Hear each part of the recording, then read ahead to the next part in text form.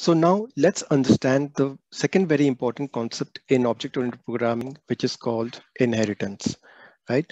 So what does it mean? In layman terms, it is simply the ability of a class to inherit properties and behaviors of another class, right?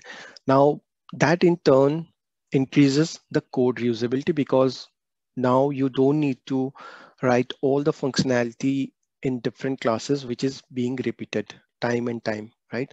You, you can just write um, all the different methods in one particular class, and then you can simply inherit uh, those methods into another class and then start writing the specific methods which you require um, for the new class, right? So that in turn will save you a lot of time and then a lot of um, lot of repetitive code could be ignored, right? So those are some of the very big advantages which you get from inheritance.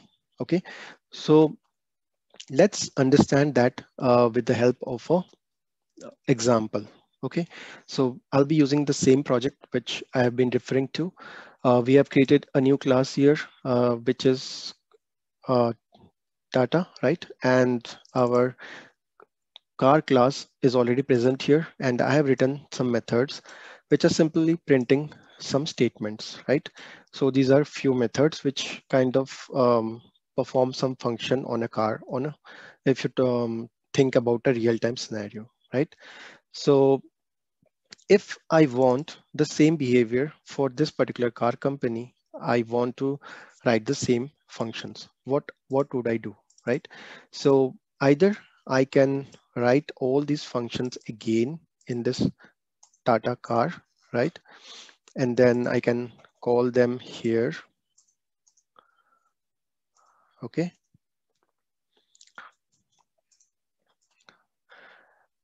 So I can give a call to all of these functions here. But what is happening here, if you notice, is we are repeating the code, right? So whatever code we wrote in the car class, now we are repeating the same code in the Tata class, right? And that same code could be repeated in a number of different classes as well. Now, this is not a good, uh, you can say a design, right?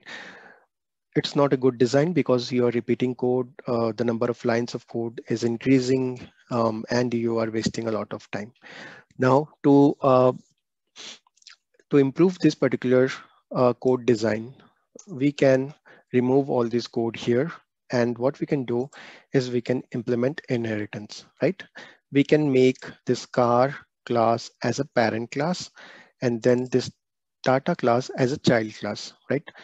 So this child class would inherit the properties of the parent class, which is car, okay, which are already defined.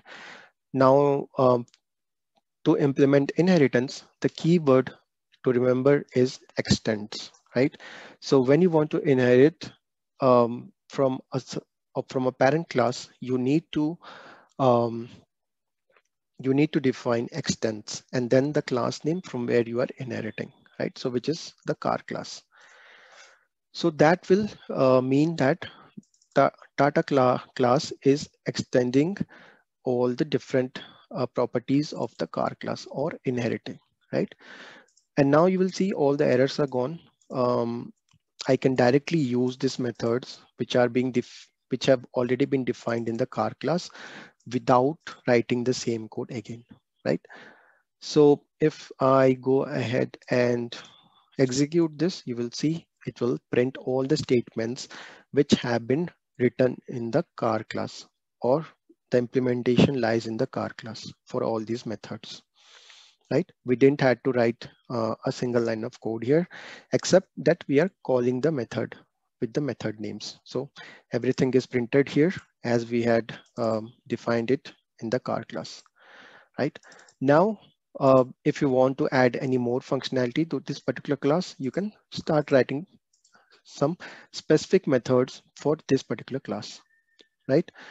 So that is how you implement inheritance into your code and that increases your code reusability because you are making your code more reusable.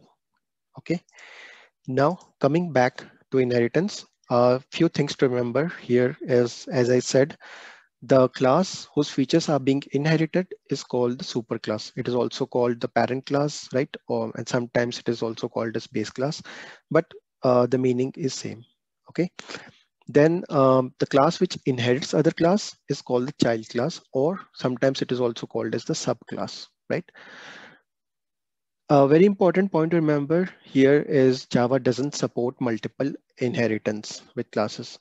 Now, what does multiple inheritance mean is if a subclass or a child class is trying to inherit properties from two or more classes, right? So, or you can say more than one class, right? Then it is called multiple inheritance because it is trying to inherit from multiple classes, which is not possible in Java. Okay. But there is a workaround. If you want multiple inheritance, you can achieve it through the help of interfaces. Now, what are interfaces? I will explain you in the later section when we talk about uh, data abstraction. But just remember that multiple inheritance could be achieved with the help of interfaces. Now, it's a very popular interview question because um, you'll be asked whether multiple inheritance is possible in Java. And if, if it is, then how, right? So these are the answers. Now, the next thing to remember is constructors are not inherited by the child class, right? So you cannot inherit the constructors which are defined in the parent class uh, into the child class. Okay, so these are the different important points which you should remember when you are implementing implementing inheritance in your project. And this is the whole concept about what inheritance is. Okay, so in the next section, we are going to look at abstraction and then we'll also look at what, what are interfaces and what are abstract classes, what are the differences. So all those things.